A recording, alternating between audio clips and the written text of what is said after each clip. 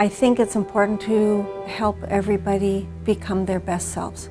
Kids need to have equality, they need to have justice, they need to know that they can make an impact on their own world and who they are as individuals. She challenges kids to find a passion, find something they're interested in, and then find how they achieve change or they advocate for change. I think I wouldn't be talking in front of people without her. I used to be super shy and she just gives us the chance to speak our voice.